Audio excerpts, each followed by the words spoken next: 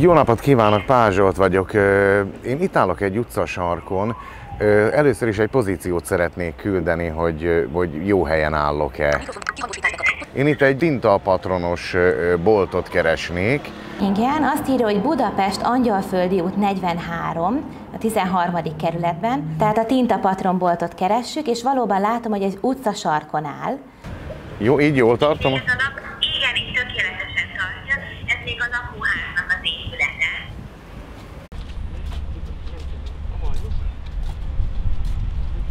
Igen, és itt álljunk meg. És ő lesz a patron, és nyomtatóbolt, ki is van írva. És rögtön szemben lesz a bejárat.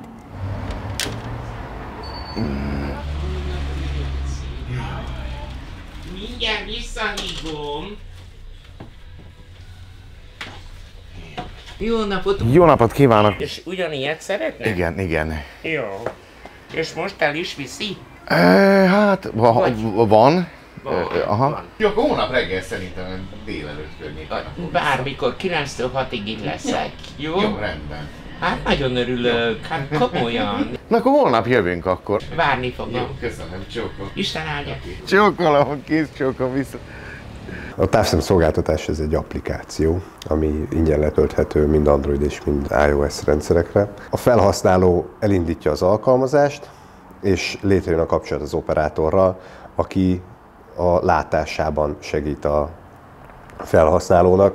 Ezen kívül lehetőség van arra, hogy a helyzetét megadja az operátornak, és az operátor így le tudja ellenőrizni, hogy egy térképen, hogy hol van éppen a látássérült, és egy esetleges eltévedés esetén vagy üzlet keresésénél ez a funkció ez jól használható.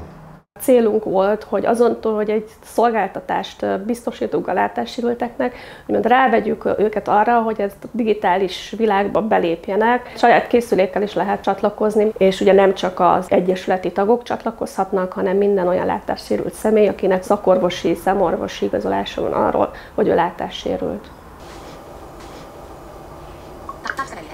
Távszemszolgáltatás. Üdvözlöm, Kinga vagyok. Miben tudok segíteni?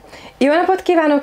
Kriszta vagyok, és az az igazság, hogy a, kicsit elnyomtam véletlenül a kávégépet. Meg tudnánk-e nézni, hogy mit ír ki a képernyő most? Azt írja, hogy ki az asztaltót.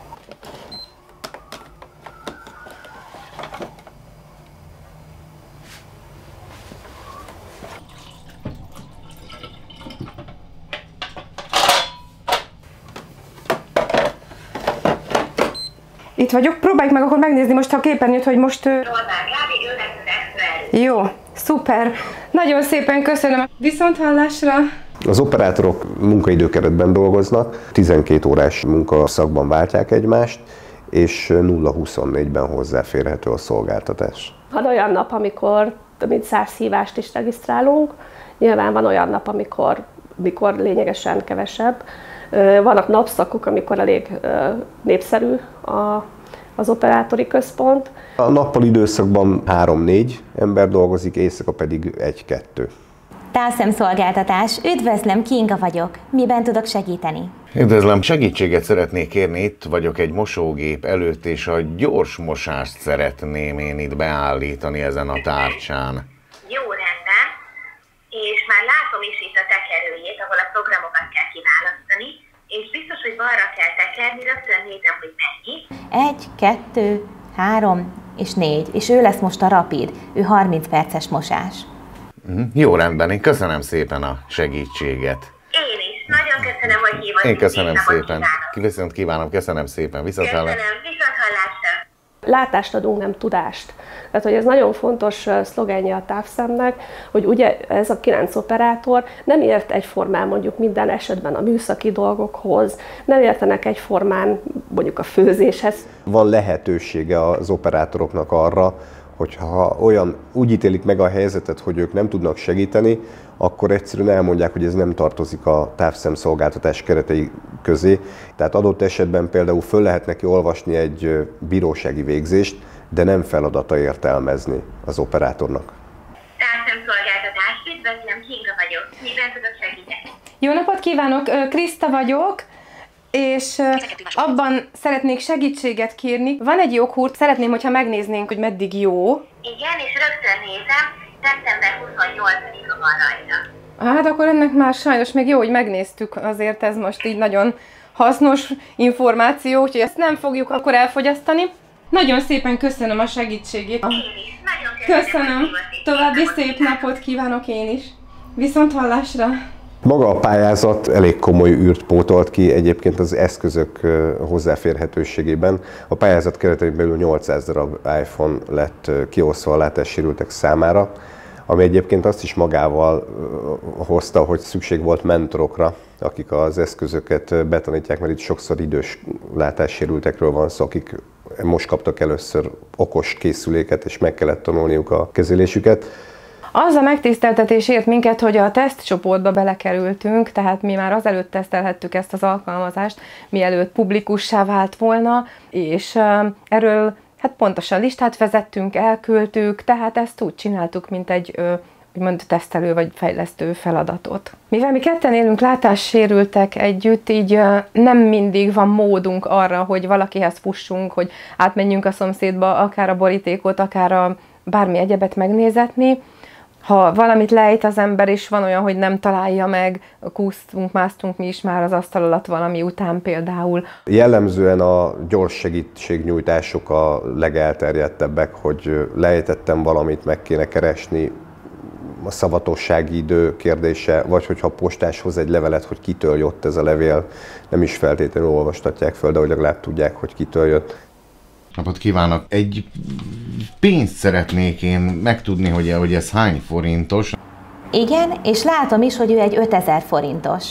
Jó, köszönöm szépen, és én még egy pénzt szeretnék megtudni. Igen, látom őt is, ő pedig egy 1000 forintos.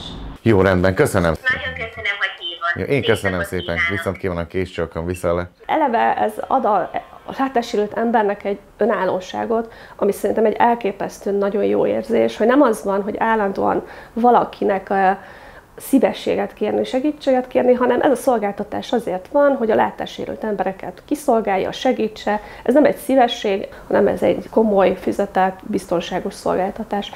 Távszemszolgáltatás. Üdvözlöm, Kinga vagyok. Miben tudok segíteni?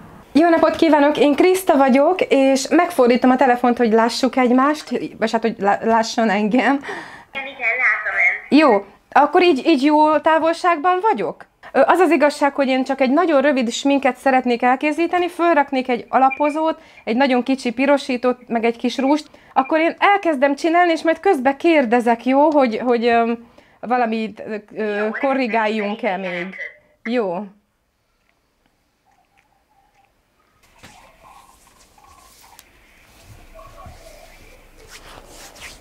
Jó, na most akkor nézzük meg, én most fölraktam az alapozót. Mindenhol egyenletesen. Jó, tehát akkor így már a szemem alatt a karikák már nem, nem olyan feltűnők, vagy nem látszik olyan. Nem, egyáltalán Jó, nem. jó, most ez egy pirosító lesz. Nem tudom, mennyire látszik, hogy a két kezemben van két fél gömb. Följebb emelem. Így. Igen, így most már látom mind a kettőt, igen. Szépen. Jó, köszönöm. Akkor ebből kenünk egy kicsit.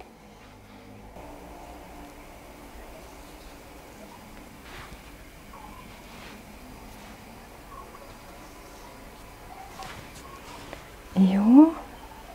A bal orcáját fordítsa még a telefon felé. Igen, itt most látom, most a másikat. Teljesen egyforma. Jó, hát Tehát nagyon- Jó. Köszönöm szépen, és akkor csak egy kis rúst fogunk tenni. Uh-huh, jó, rendben.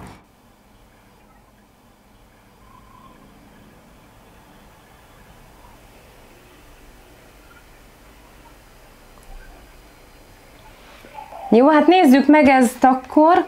Nem tudom, hogy így látszik el. Tudom, hogy ez egy kicsit ilyen csillámos is, tehát hogy nem olyan erős szín. Olyan fényes, sillámos hatása van. Jó, hát nagyon szépen köszönöm a segítségét. Köszönöm, viszont hallásra. A legtöbbet talán a személyes kommunikációban tudja nyújtani ez a, ez a program. Illetve az egyéb funkciókban. Például a felolvasást segíti az, hogy ki tudja merevíteni az adott képet az operátor, tehát jobban rálát a, az adott tájra, szövegre, amit én megmutatok neki.